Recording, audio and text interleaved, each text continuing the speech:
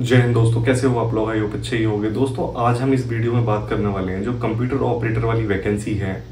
उसमें आपको कंप्यूटर की तैयारी कहाँ से करनी है?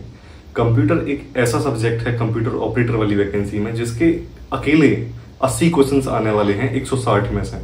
मतलब आधा पेपर कंप्यूटर के क्वेश्चंस का ही आने वाला है। तो आपका कंप्यूटर स्ट्रांग होना बहुत ज़रूरी है और आपका सही बुक से कंप्यूटर की तैयारी करना बहुत ज़रूरी है। अगर आपने गलती से भी एक गलत बुक चूज़ कर ली कंप्यूटर की तैयारी के लिए तो फिर कहीं ना कहीं आप एग्ज़ाम की कट ऑफ़ से बाहर हो जाओगे।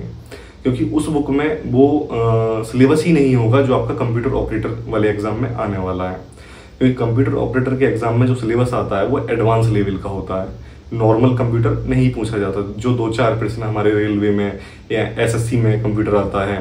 तो एसएससी में भी जो क्वेश्चंस आते हैं, वो बेसिक लेवल के होते हैं। लेकिन कंप्यूटर ऑपरेटर वाली परीक्षा में जो क्वेश्चन आते हैं, वो थोड़े एडवांस लेवल के होते हैं, वो ग्रेजुएशन लेवल के होते हैं। भले ही ट्वेल्थ लेवल का ही एग्ज़ाम है, लेकिन कंप्यूटर के क्वेश्चन एडवांस लेवल के ही होते हैं। ठीक है? क्योंकि साथ में रिक्वायरमेंट है एक साल के कंप्यूटर के डिप्लोमे की। तो ज़ाहिर सी बात है, जिसने कंप्यूटर का एक साल का रेगुलर डिप्लोमा किया होगा तो उसे कंप्यूटर की अच्छी खासी नॉलेज होगी। तो प्रश्न भी अच्छे खासे लेवल के पूछे जाते हैं। तो आज मैं आपको इस वीडियो में कई सारी बुक बताऊँगा कंप्यूटर की। उन्हें आप लोग पढ़ भी रहे होंगे शायद, और बुक अच्छी हैं, मैं ये नहीं कह रहा वो बुक खराब है, जैसे घटना चक्र है, यूथ कंपटीशन टाइम्स है, किरण पब्लिकेशन की एक मॉक वाली बुक है, जिसमें अठारह सौ नब्बे प्लस क्वेश्चन हैं, एक में आठ हज़ार प्लस क्वेश्चन हैं, कई सारी बुक इस तरह तरह की अलग अलग प्रकाशन की हैं, जो अच्छी बुक हैं, लेकिन वो और एग्जामों के लिए हैं, आपके कंप्यूटर ऑपरेटर वाले एग्ज़ाम के लिए वो बुक सफिशियंट नहीं है। जैसे अगर हम बात करें करंट पब्लिकेशन वाली बुक की, वो एसएससी के लिए बेस्ट है, ठीक है? कंप्यूटर ऑपरेटर का अगर एग्ज़ाम की आप तैयारी कर रहे हो तो आपको पढ़ने के लिए ठीक है मतलब एक्स्ट्रा में आपने वो बुक पढ़ ली तो आपको एडिशनल नॉलेज मिल जाएगी कंप्यूटर की। लेकिन जो आपका सिलेबस है, उससे वो बुक मैच नहीं करती, ठीक है? इसके अलावा, अगर हम बात करें परीक्षा बंधन की, बहुत अच्छी बुक है परीक्षा बंधन की। मैंने कई छात्रों को रिकमेंड की है कि आप ये बुक ज़रूर पढ़ना। बुक बहुत अच्छी है और जो भी क्वेश्चन परीक्षाओं में आए हुए हैं, चाहे वो बैंकिंग की परीक्षाएँ हों या रेलवे की हों या एसएससी की हों, वो सभी प्रश्न उस बुक में आपको देखने के लिए मॉक के रूप में मिल जाएँगे। ऑब्जेक्टिव टाइप क्वेश्चन भी बहुत सारे हैं उस वाली बुक में। परीक्षा मंथन की अच्छी बुक है, लेकिन सिलेबस उसमें भी पूरा नहीं है आपके कंप्यूटर का। तो आपको एक ऐसी बुक पढ़नी है कंप्यूटर की, जो एडवांस लेवल की हो, ठीक है? तो आप इस समय जिस भी बुक से तैयारी कर रहे हो कंप्यूटर ऑपरेटर वाले एग्ज़ाम में कंप्यूटर वाले सब्जेक्ट की तो आप एक बार टॉपिक वाइज अपना सिलेबस डाउनलोड करना और फिर उस बुक से मैच करना कि आओ, उस बुक में पूरा सिलेबस है। अगर है तो बुक सफिशियंट है, लेकिन अगर उस बुक में वो सिलेबस नहीं है तो फिर कहीं ना कहीं आपकी बुक वो सफिशियंट नहीं है। ठीक है? इसके अलावा इस समय मार्केट में वैसे कई बुक हैं, अरिहंत की बुक भी अच्छी है। तो अरिहंत वाली बुक में भी यही प्रॉब्लम है। उस बुक में सब सब्जेक्ट हैं। रीजनिंग भी है जीके जीएस भी है करंट अफेयर्स भी है और कंप्यूटर साइंस भी है। आपको एक ऐसी बुक बाई करनी है जिसमें कंप्यूटर एडवांस लेवल का हो और वो बुक केवल आपकी परीक्षा के लिए ही बनाई गई हो स्पेशली ठीक है? तो पहले तो ऐसी बुक आपको सेलेक्ट करनी है। मैं आपको दो बुक बताऊँगा। आप जो चाहो वो बाई कर सकते हो। पहली बुक है यूथ कंपटीशन टाइम्स की, जो कंप्यूटर ऑपरेटर वाली परीक्षा के लिए ही बनी हुई है स्पेशली और उसमें प्रीवियस परीक्षाओं में आए हुए सॉल्व पेपर्स भी हैं। और भी जो अन्य परीक्षाएँ हैं जिनमें कंप्यूटर के प्रश्न पूछे जाते हैं, जो टीसीएस कंपनी अधिकतर पूछती हैं, वो भी हैं उसमें।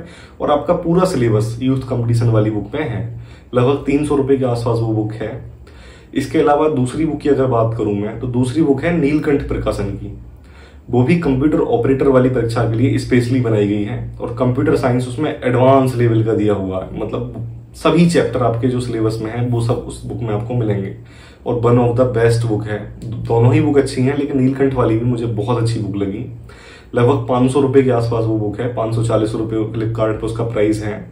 तो आप इन दोनों में से कोई एक बुक बाई कर लो। अब तक आप चाहे परीक्षा मंथन से पढ़ रहे थे, या किरण पब्लिकेशन वाली बुक से, या फिर घटना चक्र वाली बुक से पढ़ रहे थे।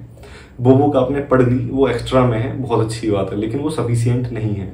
अगर आपने ऑनलाइन तैयारी की है कंप्यूटर वाले सब्जेक्ट की यूट्यूब पर आपने नोट्स बनाए हैं, तब भी आपको मैं सजेस्ट करूँगा, एक बुक इन दोनों में से आपको ज़रूर बाई करनी चाहिए।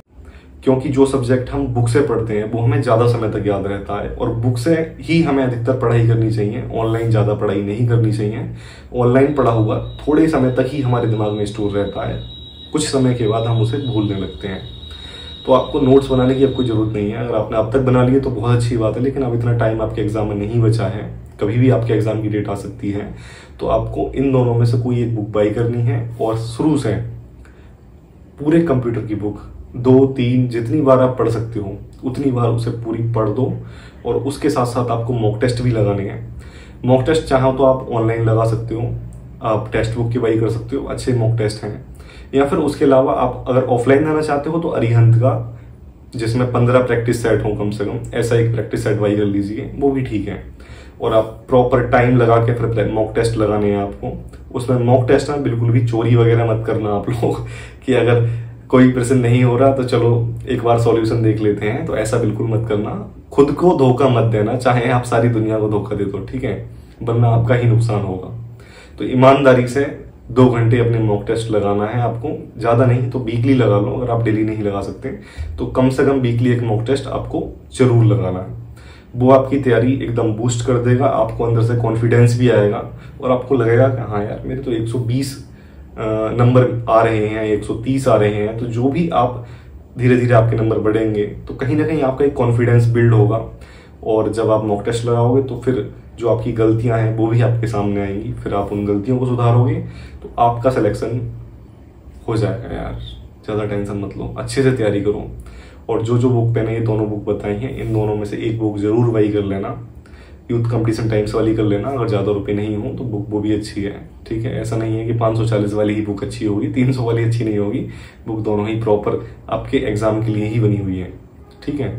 पहले ऐसा होता था, कुछ साल पहले जो 2016 या 18 में जो वैकेंसी के एग्ज़ाम हुए थे, उस समय कंप्यूटर की इतनी बुक ऑनलाइन अवेलेबल नहीं थी, लेकिन अब सुविधाएँ हैं तो आप उनका लाभ उठाइए, जो वो कब तक पढ़ रहे थे, उसे भी कंप्लीट करिए जल्दी और दोबारा नई बुक लगा लीजिए, ठीक है?